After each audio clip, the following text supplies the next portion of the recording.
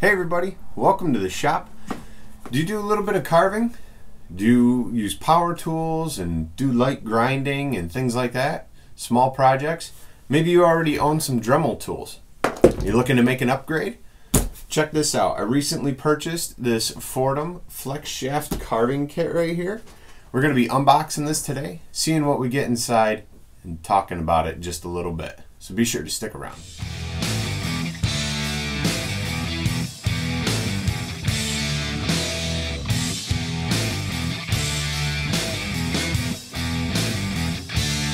Talking about this Foredom kit here today, um, I just kind of want to maybe give you a little explanation as why I decided to go with this. I was searching around for something to replace my Dremels with. You know, Dremel's a big brand. You can find it all over. You find all kinds of stuff they offer. But for me, these tools are burning out within like six months. I really just I don't see the need to buy their ex extended two-year warranty from like Lowe's or Home Depot if they're burning out in six months. So that means it's going to go get fixed and come back be burned out in six months. I'm just I'm tired of giving them my money to have this tool burn out. Now for a while Dremel was doing great. I had the Dremel 200.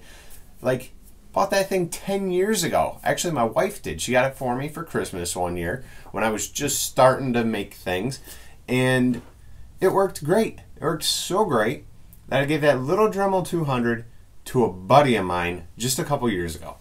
Now, I believe he's still got that in his shop. The bearings are starting to go, you can kind of hear it, but it still starts and runs.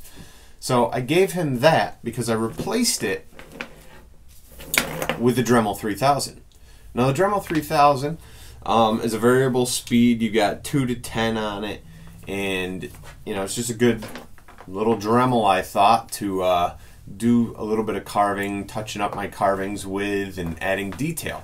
Um, it worked for a little while. I got about six months out of it, and then it died. Now, I did find a YouTube video on how to fix this. I shot my own YouTube video on how to fix this, and after using it for about 15 minutes after the repair, it died again. And so this tool continues to sit on my shelf because, well, maybe one day I'll fix it and one of the kids can use it on their projects. But it just, I feel like it's a waste of money. Very disappointing. Um, so that died. Well, I went back down, local hardware store, picked up the Dremel 4000. Thinking, okay, you know, a little bit bigger, you're going to spend more money, it's going to be an upgrade, it's going to last longer, right? It's got more of a professional look. I mean, this thing goes from 5 to 35 on a level. You know, it's all variable speed. Um, this thing worked great. Again, though, I think I got about six to eight months, and it's starting to spit and sputter. So it's running, but every now and then it's cutting out and on and out and on, and it's acting just like the last one. So pretty soon the wire will break inside, and it will render itself useless. Between these two, I, uh, boy, I think I've spent maybe 160, 170 bucks. For what? To go potentially buy another one? No. Time to start searching around. The way I see it, I've already spent half the money that it cost for a professional tool. So I've already spent half the money for this professional tool. Now Foredom has a full website. They've got all kinds of attachments. They've got some bits. They've got all kinds of different motors for different applications, replacement flex shafts. You can buy a bunch of stuff for this thing. Now, there are different kits and different models and things like that. Um, you can find this one, though, in the description below. I will leave links to Amazon. You buy through those links, you help support this channel. I'll thank you in advance. I will also leave links to the Dremels that I've had if, you know, you guys want to buy them, then go for it. You know, I support that. No big deal. We got to buy what we can afford. You know, I think one of those was around 65 or so. The other one's around 100 bucks. This Foredom kit runs right around 350 or so.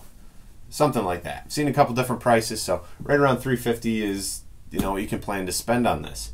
If it works as well as it uh, as it says, and as well as the reviews make it sound, then to me that's worth the money.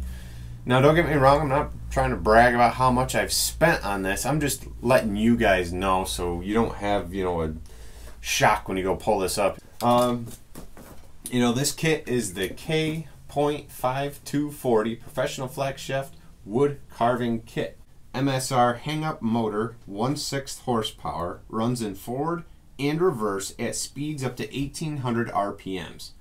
Uh, variable speed foot controller, it is in a plastic housing, but that means you can sit in a stool, use the toe, use your toes or the ball of your foot to press down the pedal on how fast this thing is going to go or how slow.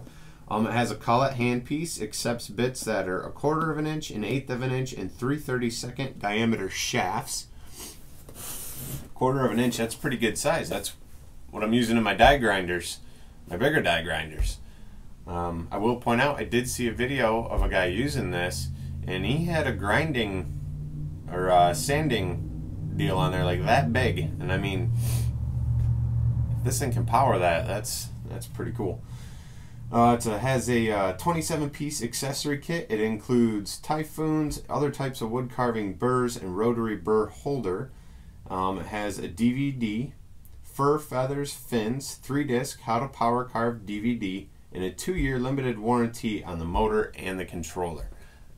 So it's already in the price to have that warranty. That's awesome. You buy this kit, you've got really everything you need to just start using it and giving it a go and I don't have to buy a bunch of bits right off the bat.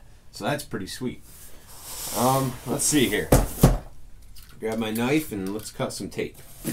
You guys can go right on Amazon. Check them out for yourself always tell everybody read the reviews, look it over yourself, you know. Man, what we got? We got an instruction manual, register my Foredom, registry form, solutions. These guys make all kinds of all kinds of stuff in here. Oh boy, lots of replacement parts, extras, add-ons, all kinds of other grinding implement tools in that book first glance, what a professional setup. I mean, seriously. To me, this this speaks a lot about a company. I mean, how professional is that? You've got your normal, um, you know, operator, owner's manual, registry form. Those things come with most tools. But then to look in here, 2017 Power Tool Catalog and Price List. Okay, it is 2018. This says 2017. I'm going to assume their prices haven't changed or they haven't changed a whole lot. That that's not a big deal to me, but I think it's pretty awesome that they throw a catalog, one catalog, rotary accessories for every job. They throw another catalog in there. I'm looking in this box, right? Here it is, so you guys can see. Everything's in here as neat as it can be. Um, what is this? We've got some flex shaft lubricant. Here is the handpiece in its own little case, own little plastic case to keep it safe. It looks like you've got a wrench, all the collets in there. Cool. I'm excited. I'm really, I'm trying to contain myself here. this is like a Christmas present. We've got some bits, um, burr bits and different kinds of wheels here. Right there in their own little package. Nice thing about owning a couple Dremels prior to this is now I've got some nice little plastic boxes I can put all this stuff in. So, thanks. All right, we got Frank Russell's Power Carving, Fur, Feathers, and Fins. How to Carve with Foredom Power Tools, and Accessories. Three DVD set. I'll probably watch that. Let's see here. Just got some cardboard, kind of keeping everything safe. Um, here's a nice little stand. Oh, little Lazy Susan stand. Bunch of spots for all your bits in different size holes so they'll all fit in there. Right, so looking in the box, you've got the motor and the flex shaft and everything. Boy, this thing is a motor. We got some weight. There it all is. Here is our flex shaft right here. Know, what do we got? Maybe maybe three feet long off the motor. Um, it looks like we've got our plug. Plug it in. Again, haven't read any instructions, haven't really looked anything over. What it's looking like is the plug on the motor, plug into your foot pedal, plug your foot pedal into the wall. So the foot pedal is the in-between to give you your power up and down. Um, I I will say I didn't pay attention to the fact that the foot pedal's plastic. Opening up that catalog just now and I saw a quick metal metal replacement ones. So down the road that'll probably be something I look into. Um, at least when this breaks. I'm not going to jump on the money to do that right away. We'll see what happens. Let's see here. So when you look down in where the shaft goes, it's a key shaft. So you've got this shaft with a little key that sticks off to the side that it doesn't want me to twist here to show you. a little piece that sticks off right here. And you look down in the handle, line that baby up, and it just pops in place. Done. Um, the handle here seems to have, put this in the handle to hold the shaft steady like that.